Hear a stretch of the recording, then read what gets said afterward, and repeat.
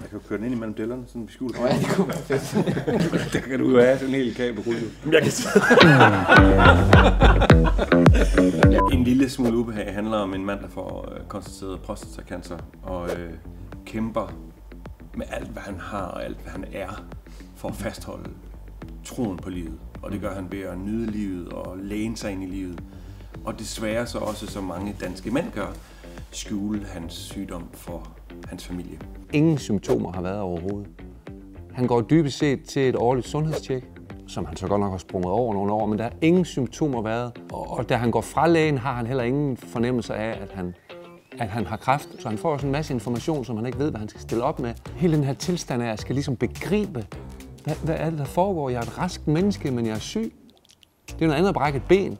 Fordi så kan man mærke, at man halter, og man må op og have gips på. Altså det, det er så synligt, men det er ikke synligt for ham, det der foregår her. Han bliver syg uden at føle sig syg. Ensomhed, Maskulinitet, fortrydelse, afmagt, penis, forkortelse. Smerte og humor i den her forestilling går, går jo sådan helt tæt op af hinanden. Jeg kan huske, da jeg var barn, der så sådan en Dave Allen-sketch omkring en begravelse, hvor der stod øh, de her folk omkring øh, graven.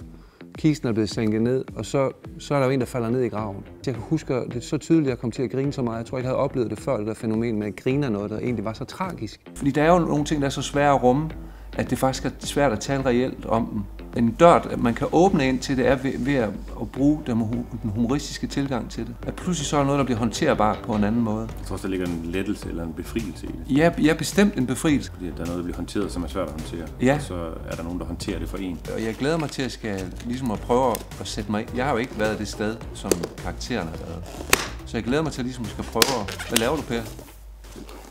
Kan vi gå tilbage til at lave research? Eller? Øh, det har jeg glemt. Jeg har lavet research, Per. Det tror jeg godt, vi kan... Det springer vi bare over. Vi ses i teateret, ikke? Det gør vi altså ikke. Det er lidt med.